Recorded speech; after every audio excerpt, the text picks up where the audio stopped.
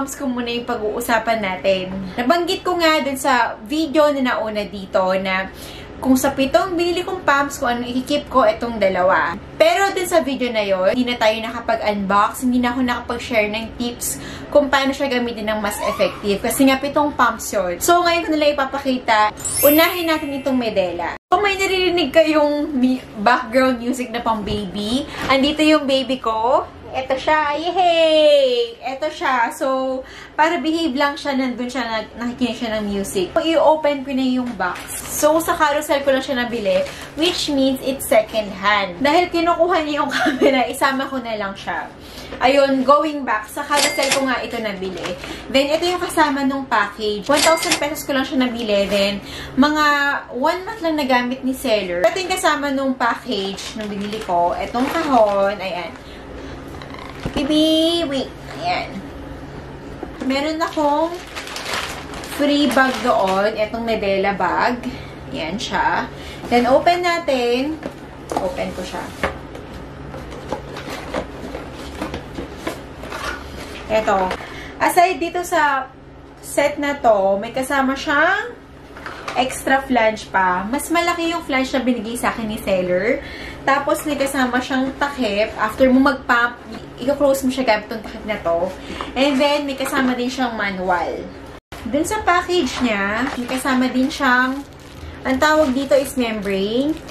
Yung para sa loob ng pump. Yan.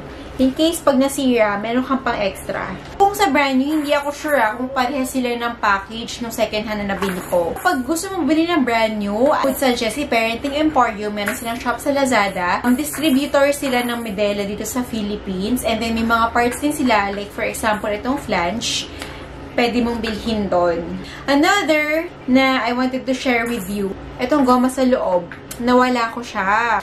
So, hindi ako makapag-pump. Good thing na may nabibilhan ng parts. That time wala si Parenting Emporium nung parts na hinahanap ko. Meron pang isang shop, si The Pat Gate Warehouse. Meron naman siyang shop sa Shopee. So, doon ako nakabili ng O-ring. And then, ayun, nabanggit ko nga sa nauna kong video kung paano to gamitin. First, itong let down muna. Kasi, ginagaya niya yung pagsak ni baby para ma-stimulate yung milk mo pababa. Pag naging okay ka na, eto na yung pagpapump mo. Ayan. Sobrang soft niya gamitin. Nagkamali ako noong una. Pag ginagamit mo yung pump ng Medela, dapat itong, I'm not sure kung anong tawag ito, diaphragm, uh, membrane, I'm not sure. Pero itong part na to, dapat nakaside siya. Dapat din lang siya. Pwede siya sa side na ganito, pwede siya sa side na ganon. Sorry, ako pinofocus ng camera. Pag ganito siya, ganito mo siya ginamit, paharap, hindi ka makakapump ng milk. So, ang maganda dito kay Medela, may kasama siyang ganito. So, if ever, hindi masispill yung milk mo. Dito kasi sa bottle na to, napupuno ko siya agad, uh, less than an hour. So, ang ginagawa ko, pag puno na siya, pinapalitan ko siya ng Dr. Brown bottle. Kita ko lang nakasya yung Dr. Brown bottle dito. And then, yan, lagay na natin. So, pwede kayo na magpa... After nito, pwede na diretso hindi day ni baby. Gusto ko din ito ginagamit for travel pag kasama si baby. Kasi pag hindi ko siya kasama, double electric pump yung ginagamit ko. Hindi siya masyadong space consuming. Pag nag-travel ka, so ilalagay mo lang ganyan sa bag mo. Ilagay mo na siya sa orange na bag, di ba? Super neon. We super love this pump, di ba baby?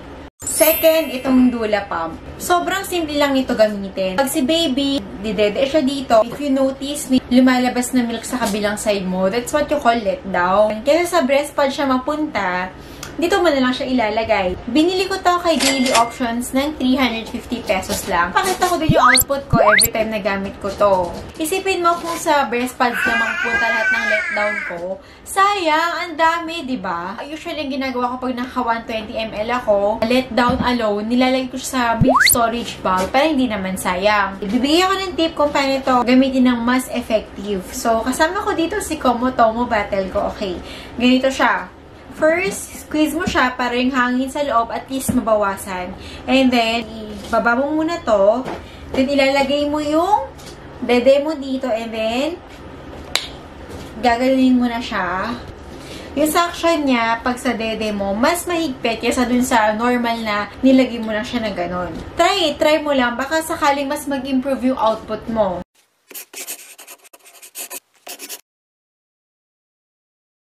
For double electric pump, wala pa akong favorite. Pero ang dami kong gustong itry. Gusto kong itry yung Spectra. Gusto kong itry yung Medela. And gusto kong itry yung Wise Mom. So, ayun. Ikaw, anong favorite best pump mo? Comment down below. Babasahin ko. And kung ano i-recommend mo sa akin para in the future reference ko. So, that's it. See you on my next video. At magbibigay ako ng hints regarding pumping. See you on our next video. Bye! Don't forget to subscribe para meron ka notification kapag may bagong video. Yay!